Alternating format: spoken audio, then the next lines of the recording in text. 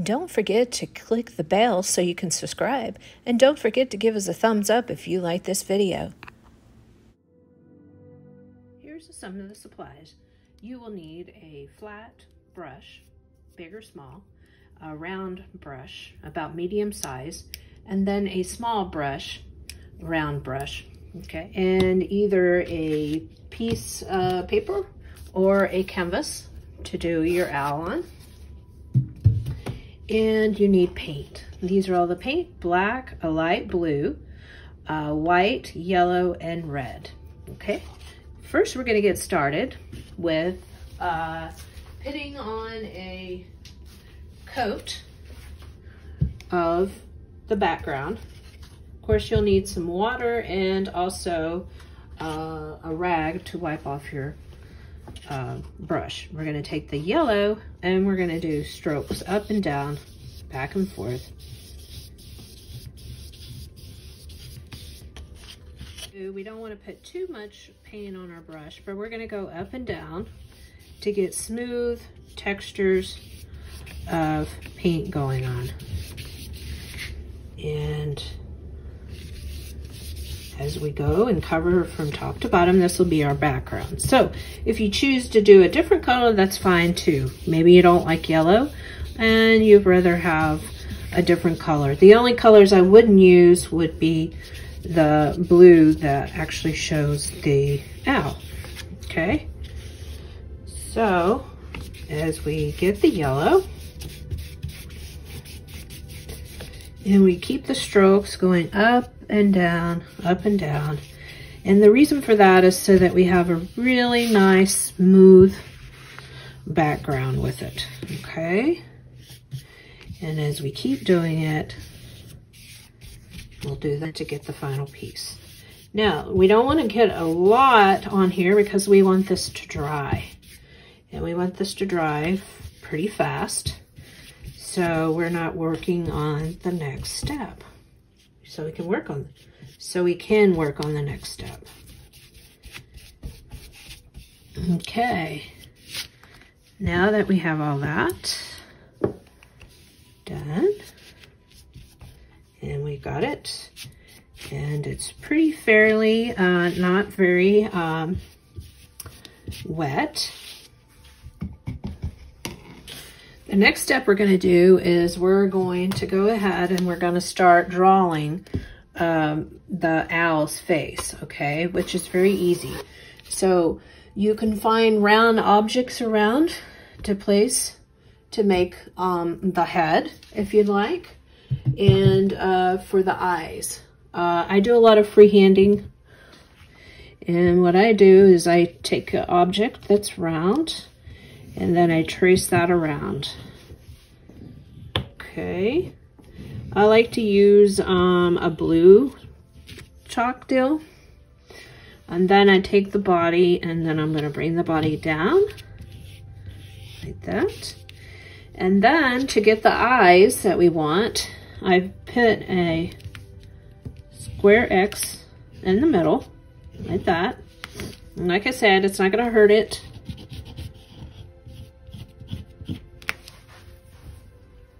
Okay.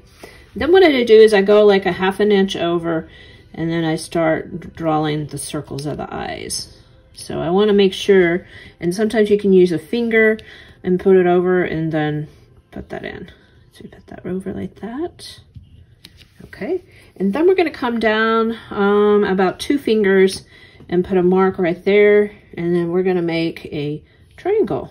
Okay, you can have a long skinny triangle, however way you want to, okay? And that's how we get our owl, done. Now, if you want to use a pencil, that's fine. It's just sometimes using acrylic, it'll take a little bit um, harder. The black, because we're going to put in the highlights of the bird, okay? So the highlights of the bird, we're going to do some feathers and I'm going to show you how to do those feathers. And basically what we're aiming for is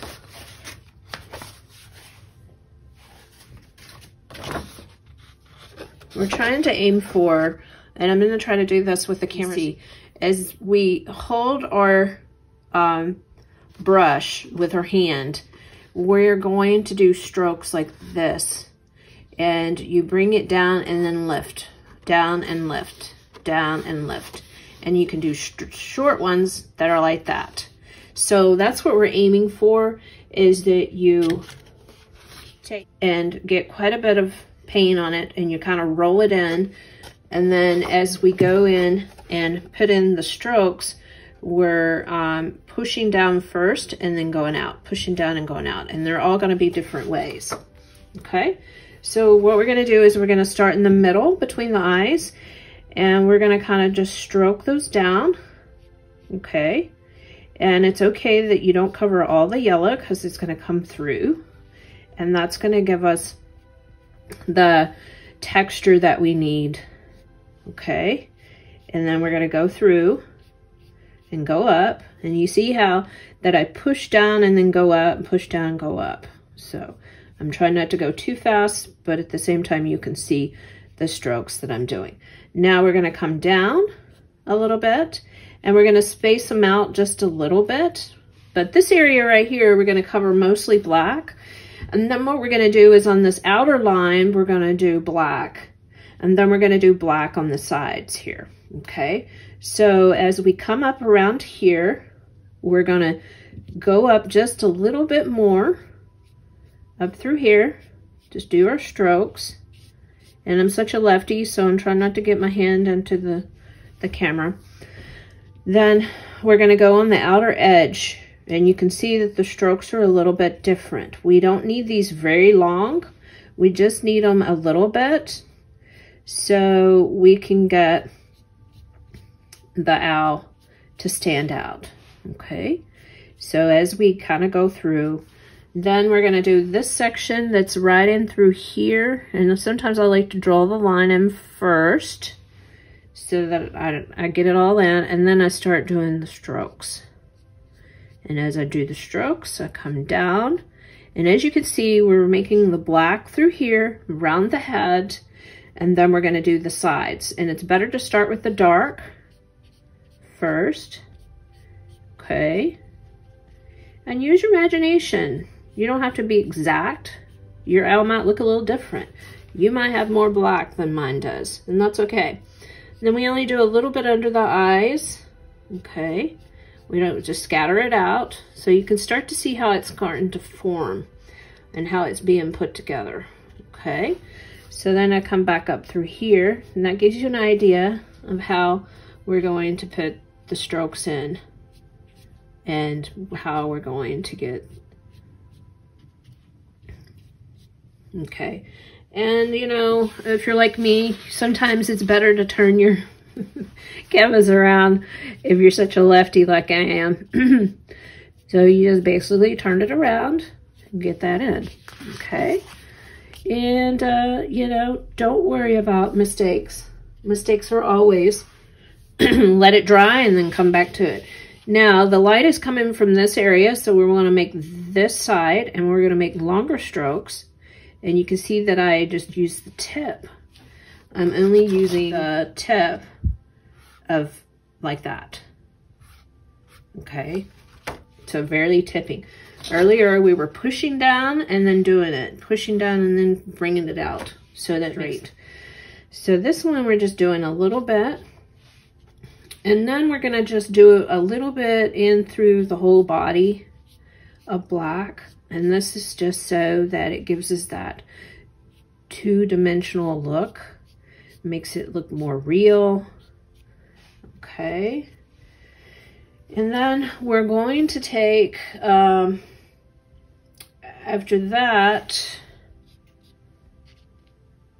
we're going to go ahead and cover in the black of the eyes to trace it out. Okay, it doesn't have to be perfect. And we're gonna get the other side. Okay. And then what I do is, after I feel like I got most of the black, because that's what we're gonna start off with, is uh, they're gonna we're gonna do one more layer of black and we're gonna leave about about two fingers around the head and we're gonna start right here and we're going to give it some more hair okay and these strokes are going to be short strokes and they're going to kind of go around and if you feel like you're going to miss that just kind of take your blue chalk and then just go around the head like that make it a little halo is kind of what we're aiming for. And so if you're scared that you might mess up, then, you know, I'm all about turning your canvas around to make it easier because I'm such a lefty and I've had to work that way. Now, if you're right-handed and you don't have problems with that, then I say go for it. So as we keep going, and, you know, the thing about doing this painting is you get very relaxed. And the good thing about this painting is that you can stop anytime you want and come back to it because you're using that one stroke that's going back and forth, okay? And this one, we're just doing a little bit of, you know, at the edge. And you don't want them to all be the same. You want them to go different angles because, you know, every feather is not the same. And so as we're going through that and we're coming back through around, you know, he looks kind of funny. So now after we're done with that, we're gonna wash, we're gonna um, clean off our brush and then we're gonna use a different color. The next color that we're gonna use is going to be white. And so the next one is going to be white and we're gonna do the same technique with the white. We're going to go through here and if you feel like your paint is not quite there, dried, then, you know, wait and come back around it. So now we're gonna put the white in between. And sometimes you might have to clean off your brush if you get some black going on. But we're gonna go in with the white. And the white is mainly gonna go through here, around the eyes, around this edge, and a lot through the whole body, okay? So as we keep going, and we're mastering all of this, we're gonna keep white in there and white up in between every once in a while and that will give it that wonderful technique. And if some of it turns gray, it's okay. It's not to be hard for that.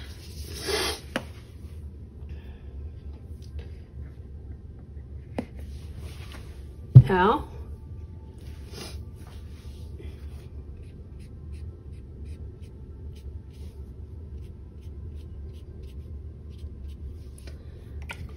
some reason I keep getting my black, so.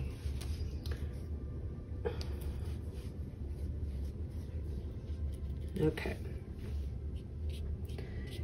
So we're going to start down here. And we're going to get some of the black in through here.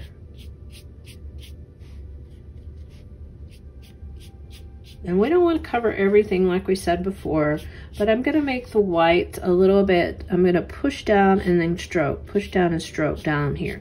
Because these feathers are closer to you, so they're a little wider.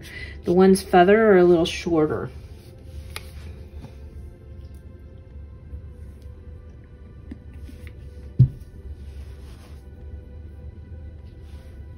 And so as we work through these I'm moving them around at different angles, I'm gonna turn mine around and you can see how I'm still stroking. I'm using the same stroke, okay?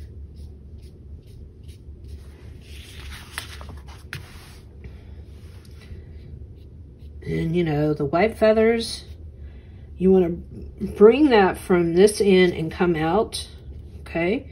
And then it's going to meet up where it kind of hides that black around there, okay? So as you see, we're moving it around. And that's just easier for me, um, moving the picture around. so I don't have to use my arms and doing all kinds of weird things. I just kind of And it kind of helps my brain to know what stroke, which way I'm going. Because if I'm going this way, I have to think about it a little bit more. So my brain sometimes uh, will challenge me. And so I kind of go in through the black just a little bit through here. Okay. Not much because we don't want too much in there. But it kind of blends in the two that are together. And so I kind of go off to the edge of the black just a little bit. And these are all the different strokes that we have. okay. Now we're pretty much done with that part. And so we're gonna let that dry a little bit and we're gonna clean off our brush and use the same brush. And basically what we're gonna do is we're going to take um, a scoop of red and white together, or yellow, sorry. And what we're trying to do is get like an orange looking color, okay? And what I do is I take a little bit of tap of black and then that makes that a little darker. Less is better until we can actually get that really nice, rich looking, just a little bit more of an orange. okay, I like a little bit of a darker orange. And basically what we're gonna do is we're gonna color the whole eye, okay, with that. And make that. And if you choose to do the eye a different color, that's fine too. Um, but it makes it more of a dark color. And you got the yellow that's underneath it. And then we're gonna kind of go through a little bit and for here. And we're gonna kind of go up just a hair, not much, into the, the black part. Okay. Now we got that in there and you know, we may have to, depends on what you're using on the back, we may have to do a couple coats, that kind of thing. So, as you can see, you can see the picture, what we're aiming for. Just wanted to give you a little bit update on the picture. Okay. And, you know, you can feel free to use the smaller brush if you like. Um, I've just gotten to be over time. Some people have a hard time because it's too big. So we're gonna clean that out. And then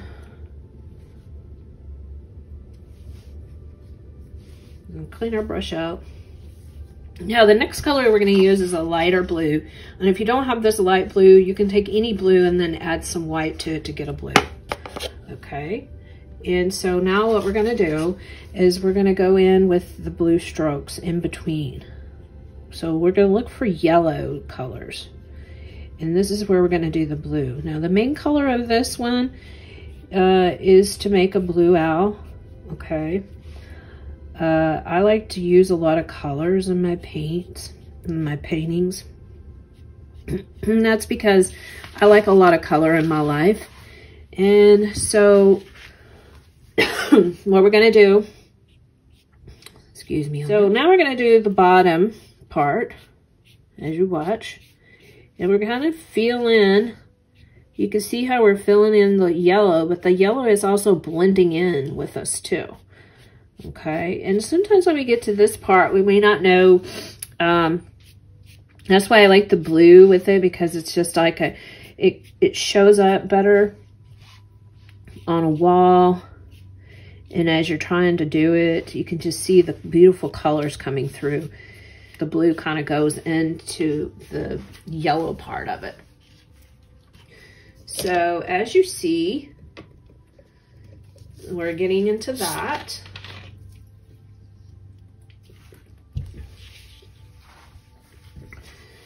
Okay, now we're gonna go underneath the eye.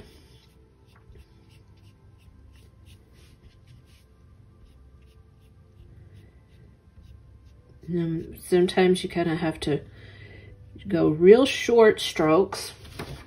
I'll show you the strokes. Short strokes are going to be like this. And sometimes you have to do it like that. I use my pinky Sometimes I hold my pinky up like this and I can get those little short strokes in there. Okay, um, if that doesn't work for you, you can always hold your, your hand to support it. And that also helps too. So as we're trying to get these, you want to make sure that you go right off of the round of the eye. Okay, you don't want to touch it. And if you touch it, like I did, I just touch my finger with it as it's wet. And if it dried off, that's okay. Because what we can end up doing, I'm going to turn this again. And I'm going to bring out my strokes of the blue. I'm almost doing two, one, two to three layers in here. As you can see, is sometimes when I come down here, I make the stroke come out a little bit. That one I don't want because that went way out. Okay. And the fun part about these strokes, you can do all kinds of uh, animals with this stroke. Uh, bringing it out. And bring the strokes out like that. And here you go. So now you can start seeing that our owl's starting to come together on there. Now, if you're having a hard time with these strokes and getting getting these, uh, if it's coming out with not um, too dry, then you don't have enough paint. So you're going to need to roll that paint some more. I wouldn't add any water to it unless your brush needs the water on it. Okay. And we're going to go through there. And as you can see that we just keep going with that. And, uh, you know, like I say, this, after you do this a few times, you're going to get it. Here's a joke for you to take a break. How about this? An owl caught the coronavirus, but he wasn't bothered. He just didn't give a hoop. Ha ha ha ha. Hope you enjoyed that joke. So now we're just kind of filling in spots, maybe where the yellow is. And sometimes you can do just a little bit of a lightness to get it in there. Um, now we're going to get all the way around and you want to kind of just stay on the very edge. You can go off the black a little bit, you know, but you want to make sure that all the feathers are not going the same direction. That's the biggest thing about doing these, okay? so as we're doing this, this is what we're to do. We get more feathers in there. Okay. And they're going in different directions. So you want to go that direction, this direction, and this, and that, and this, and that. Can see how if you do that, you know, go off the block just a little hair of it and keep working. You know, we're to go back and forth because you'll start to see as we're doing this how that works.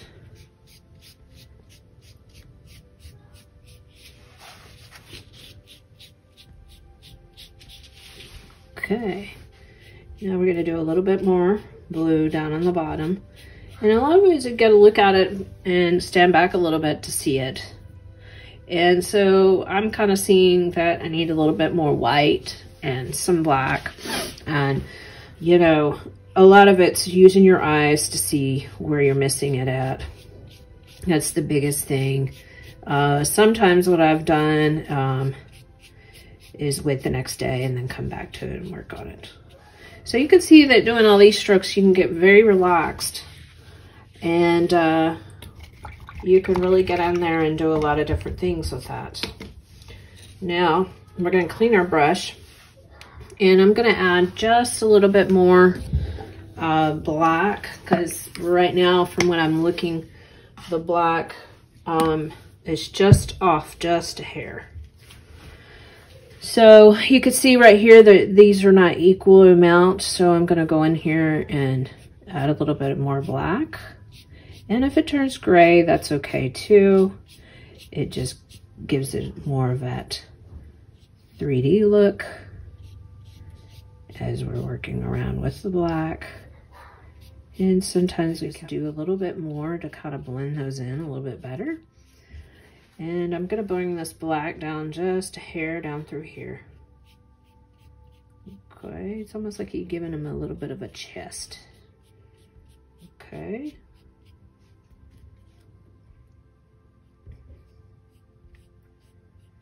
And we kind of go down just a little bit down. And so I need just a little bit more on this side to balance it out. And what I'm looking for is to balance it out. So see how easy you can correct a, okay. Now we're gonna, we're gonna um, clean our brush. And then what I'm gonna do is uh, we're gonna use uh, the end of the brush and I usually like to use a bigger brush, which is the flat brush that I have. And the flat brush that I have, I basically use the end of it. And this is what I'm gonna do. I'm going to take it in to the paint, whirl it around. Look how that perfect dot that's gonna be. And then I place it on there and I kind of just move it around just a hair not too much, okay, because you just kind of want to dot it on there and it kind of makes the perfect circle for you. And then I do it again for the other side and kind of move it around just a minute. And this is how I get my eyes. Okay. That's how you can get the perfect eyes and not have to use a brush. Now we have the thin brush here and the final stage of that is to come back in here and do a fine line with the eye and get the eye in there a little bit more so the eye stands out. Okay. And that just kind of gives you that idea of how that really works on there. And we're gonna add just a little bit more white. We're gonna brush and we're gonna go back to our medium size brush. And then we're gonna put that right in through here. And what I'm like trying to look as for is I'm trying to look for any yellows that are coming that are too much yellow. So as I do the, the white in there. I can get some more white through there.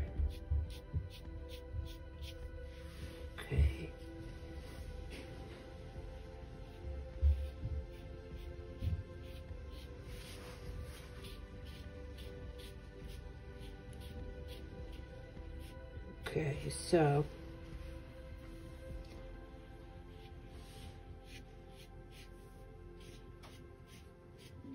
and then as you can see, you can see the white kind of putting in some more strokes. So you can see this can go layers and layers and you don't want to cover up all your colors, but this gives you an idea and uh, how you can blend in your feathers by using the same stroke, either longer, shorter strokes to get those in.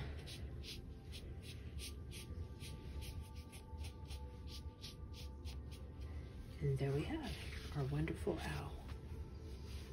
Okay. And then the very last thing you want to do is we take a little bit of black and we're going to give him these little eyebrows like this. And then we're going to put it to the other side. There we go. And of course, take your thin brush and don't forget to sign sign your name on the bottom. Okay? Or use a felt pen is fine too. I like to use felt pens because I'm trying to draw with a paintbrush. So here you go. There is your wonderful owl that you have made and a good time to spend time to relax and de-stress and have fun. Thank you for watching. Don't forget to click down below, subscribe to our channel. And if you like this video, give us a thumbs up.